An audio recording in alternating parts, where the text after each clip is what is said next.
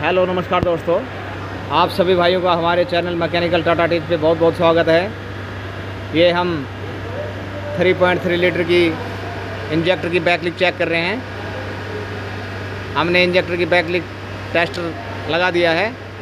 अब हम गाड़ी को स्टार्ट करेंगे और आपको चेक कराएँगे कि कितने मिनट में कितना बैकलिक आता है और कितना होना चाहिए।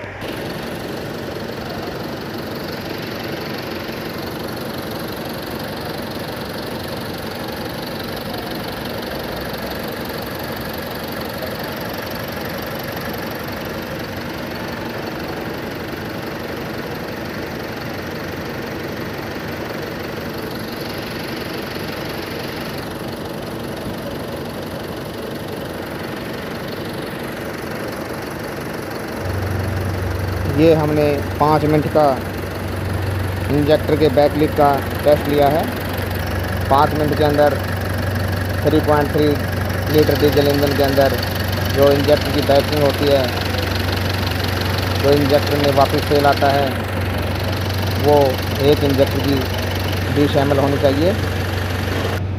ये इंजेक्टर टेस्टर की फ़ोटो है।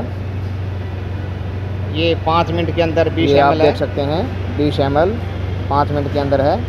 एक मिनट में लगभग चार एम आएगा। वैसे आप इसका तीन मिनट का टेस्ट भी ले सकते हैं। लेकिन दोस्तों हमने इसका पाँच मिनट का लिया है।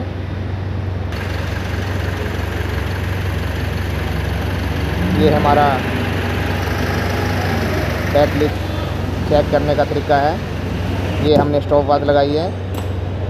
स्टॉप वॉच पाँच मिनट के लिए धन्यवाद दोस्तों।